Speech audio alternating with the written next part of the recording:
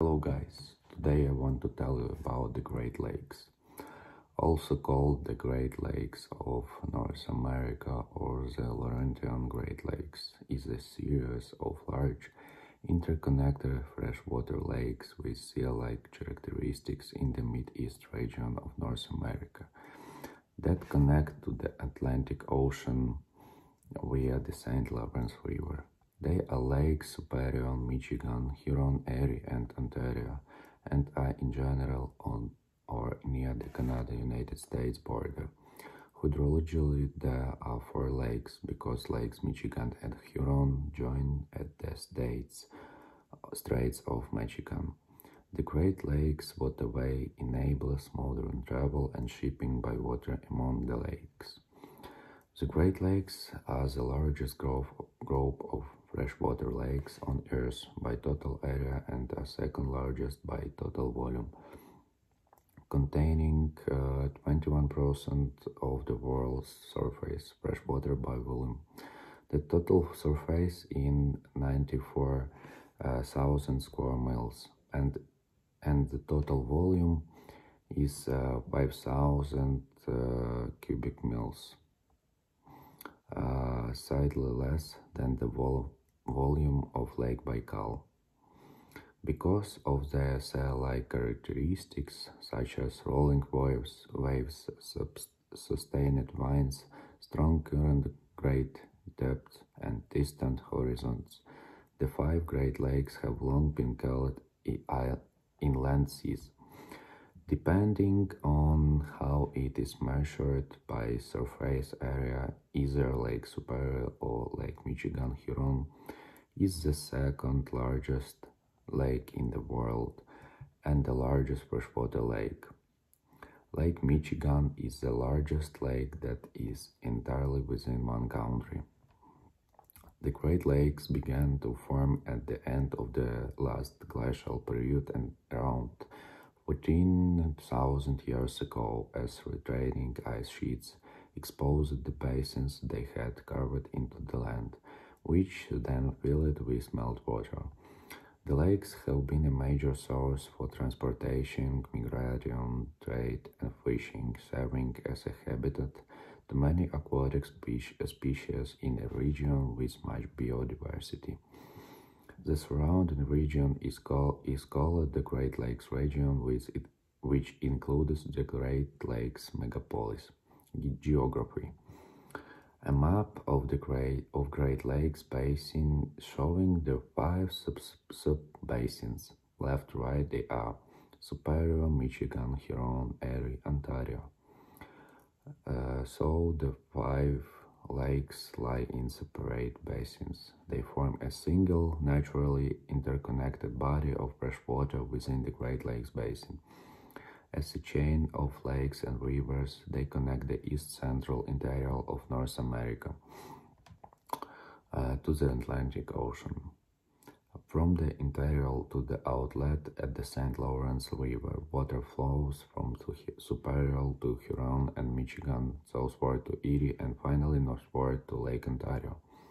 The lakes drain a large uh, watershed via many rivers and contain approximately uh, 35,000 islands. There are also several sounds and smaller lakes. Um, often called inland lakes within the basin. The surface area of the, of the five primary lakes combined is roughly equal to the size of the United Kingdom, while the surface area of the entire basin is about the size of the UK and France combined. Lake Michigan is the only one of the Great Lakes that is entirely within the United States.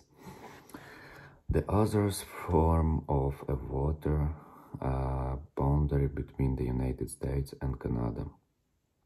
The lakes are divided among the jurisdictions of the Canadian province of Ontario and the US states of Michigan, Wisconsin, Minnesota, Illinois, Indiana, Ohio, Pennsylvania, and New York. Both the province of Ontario and the state of Michigan include in their boundaries portions of four of the lakes.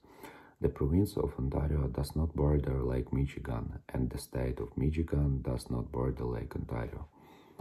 New York and Wisconsin's jurisdictions extend into two lakes, and each of the remaining states into one of the lakes. Uh, as the surfaces of Lake Superior, Huron, Michigan, and Erie are approximately the same elevation, above sea level, while Lake Ontario is significantly lower. And because the Niagara escarpment precludes all natural navigations, the four upper lakes are commonly called the Upper Great Lakes. This de designation is not universal. Those living on the shore of Lake Superior often refer to all the over lakes as the lower lakes because they are farther south. Sailors of bulk freighters transferring cargoes from the Lake Superior and northern Lake Michigan and Lake Huron to ports on Lake Erie on Ontario commonly refer to the latter as the lower lakes, then Lakes Michigan, Huron, and Superior as the upper lakes. This corresponds uh, to thinking of Lakes Erie and Ontario as down south and the others as up north. Vessels sailing north on Lake Michigan are considered a pond even though they are sailing towards an affluent current. Lake uh, Michigan Huron Lakes Huron and Michigan are sometimes considered a single lake called Lake Michigan Huron because they are one hydrological body of water connected by the Straits of Michigan. The straits are 5 miles wide and uh, 120 feet deep. The water levels rise and fall together, and the flow between Michigan and Huron frequently reverse uh, direction. A large base and uh, related significant bodies of water like Nipigon, connected to Lake Superior by the Nipigon River, is uh, surrounded by seal-like formations of mafic and ultramafic igneous rock hundreds of meters high. Uh, the lake lies in the Nipigon embayment, a failed arm of the Triple Junction in the mid-continent rift system event estimated at 1.1 billion years ago.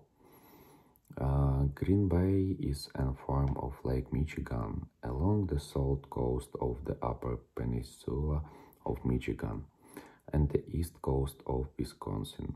It is separated, separated from the rest of the lake by the Door Peninsula in Wisconsin. The Garden Pen Peninsula in Michigan and the chain of islands between them, all of which were formed by the Niagara Escarpment. Lake Winnebago, connected to Green Bay by the Fox River, serves as part of the Fox Wisconsin waterway and is part of the larger system of lakes in Wisconsin known as the Winnebago Pool. Uh, Grand Traverse uh, Bay is an arm of Lake Michigan on Michigan's west coast and is one of the largest natural uh, harbors in the Great Lakes. The bay has one large peninsula and one major island known as Power Island. Its name uh, is derived from Jacques Marquette's crossing of the bay from Norwood to Northport, which he called La Grande Traverse. Uh, Georgian Bay is an arm of Lake Huron, extending northeast from the lake entirely within Ontario. The bay, uh, along with, with its narrow westerly extensions of the North Channel and Mississauga Strait is separated from the rest of the lake by the Bruce Peninsula, Manitoulin Island and Cockburn Island, all of which were formed by the Niagara Escarpment. Lake Nipissing, connected to Georgian Bay by the French River, contains two volcanic peaks, which are the Man Manitou Islands and Callander Bay. These peaks were formed by violent supersonic eruption of deep origin. The lake lies in the Ottawa-Bonnechere Graben, a Mesozoic rift valley that formed 175 million years ago.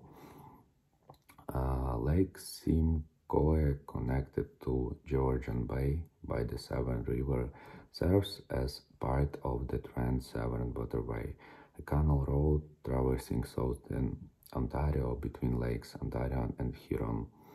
Lake St. Clair connected with Lake Huron to its north by the St. Clair River and uh, with Lake Erie to its south by the Detroit uh, River. Also, it is 17 times smaller in area than Lake Ontario and only rarely included in the listings of the Great Lakes. Proposals for its official recognition as a Great Lake are occasionally made, which found to affect its inclusion in scientific research projects designated as related to the Great Lakes. Saginaw Bay an extension of Lake Huron into the lower peninsula of Michigan, fed by the Saginaw and other rivers, has the largest contiguous freshwater wetland in the United States islands. Dispersed throughout the Great Lakes are approximately uh, 35,000 islands.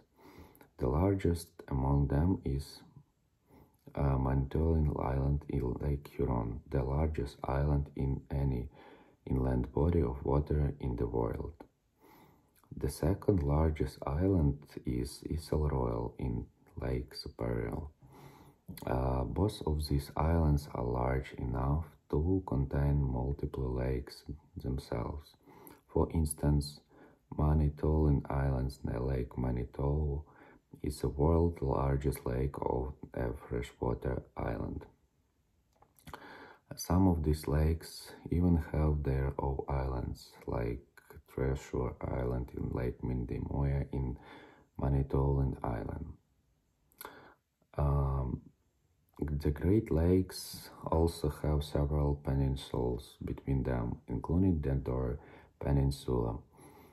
Some of uh, some of these Peninsulas even contain smaller, peninsulas, such as the Keweenaw Peninsula, the Sun Peninsula, the Bruce Peninsula, and the Niagara Peninsula. Population centers on the peninsulas include Grand Rapids, Flint, and Detroit in Michigan, along the London, Hamilton, Brantford, and Toronto in Ontario. Shipping connection to the ocean, also the St. Lawrence Seaway and Great Lakes Waterway, made the Great Lakes accessible to ocean-going vessels. Shifts in shipping to wider ocean-going container ships, which do not fit through the locks on these routes, have limited container shipping on the lakes. Most Great Lakes trade is of bulk material and bulk um, freighters of COV size or less can move throughout the entire lakes and out to the Atlantic. Larger ships are confined to working uh, within the lakes. Only barges can access the island's waterway system providing access to the Gulf of Mexico via the Mississippi River. Despite, uh, despite their vast size, large sections of the Great Lakes freeze over in winter, interrupting most shipping from January to March. Some icebreakers ply the lakes, keeping the shipping lanes open through other periods of ice on the lakes. Uh, the Great Lakes are connected by the Chicago Sanitary and Ship Canal to the Gulf of Mexico via the Illinois River from the Chicago River and the Mississippi River. An alternate uh, track is via the Illinois River from Chicago to the Mississippi up to the Ohio and then through the Tennessee Tombigbee Waterway, a combination of a series of rivers and lakes and canals, to Mobile Bay and the Gulf of Mexico. Commercial tug and barge traffic on these waterways is heavy. Pleasure boats can enter or exit the Great Lakes by way of the Erie Canal and Hudson River in New York. The Erie Canal connects to the Great Lakes at the east end of Lake Erie and at the south side of Lake Ontario at Oswego, New York. Water levels. The lakes were originally fed by both precipitation and meltwater from glaciers which are no longer present. In modern times, only about 1% of volume per year is new. Um, water originating from rivers, precipitation, and groundwater springs. In the post-glacial period, evaporation and drainage have generally been balanced, making the levels of the lakes rel relatively constant. Intensive human population growth began in the region in the uh, 20th century and continues today. At least two human water use activities have been identified as having the potential to affect the lake's levels.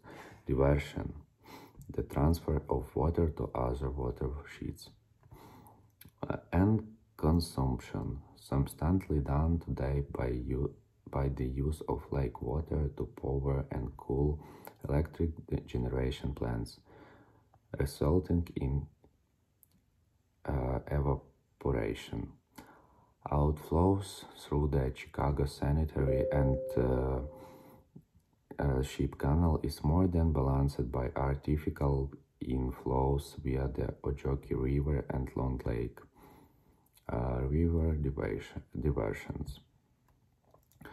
Fluctuation of the water levels in the lakes has been observed since records began in uh, 1918.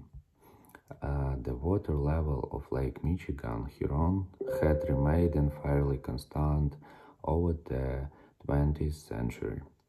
Recent lake levels include record low levels in 2013 in Lake Superior area and Michigan Huron, followed by record high levels in 2020 in the same lakes.